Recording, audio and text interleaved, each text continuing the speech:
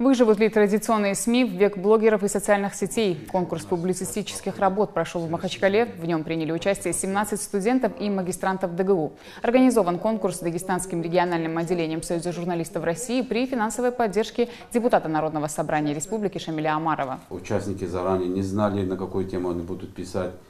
Э, после работы оценивались независимым экспертом, э, взяли человека со стороны, который хорошо разбирается журналистики, э, и он оценивал. И я думаю, оценивал очень достойно. Если честно, не надеялась вообще на призовое место. Я пошла, но тема оказалась очень интересной и э, актуальной. Я очень часто рассуждала на эту тему, поэтому ну, мне было интересно писать. Вот. А, я буквально в этот день видела, как э, дедушка сидел в автобусе и читал газету. Я тогда вот думала, что все равно традиционные СМИ останутся и будут актуальны всегда.